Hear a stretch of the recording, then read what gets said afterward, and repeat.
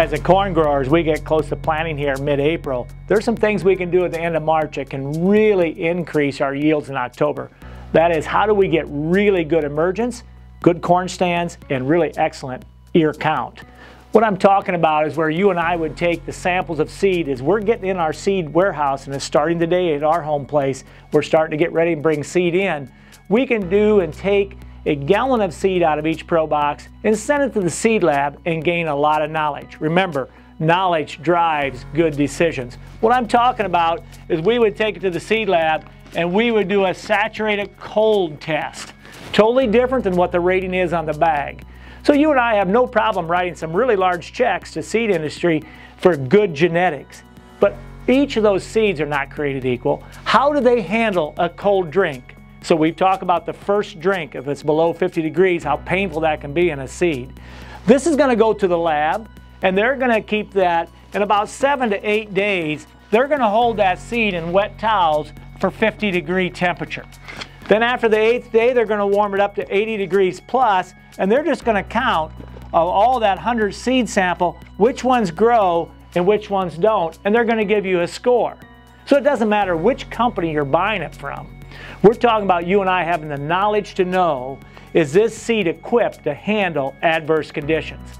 Last year, I had scores from 99% saturated cold to 69% saturated cold.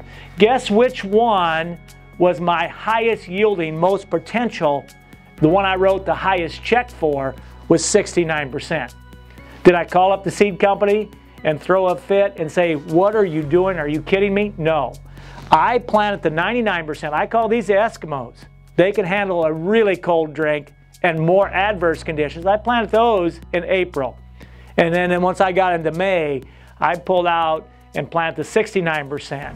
And we had a tremendous emergence and tremendous ear count because we managed that seed to win.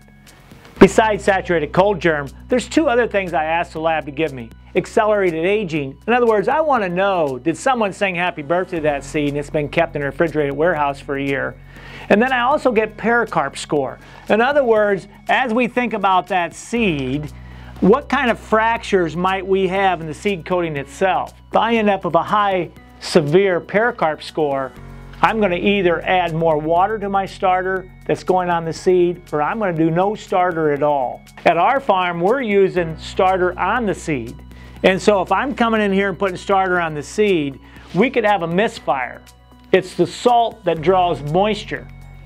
And so if salt draws moisture and it comes out of the center here, we're going to have a seed that's not going to put on an ear. At the end of the day, a simple $47 per sample can help me have a really great harvest.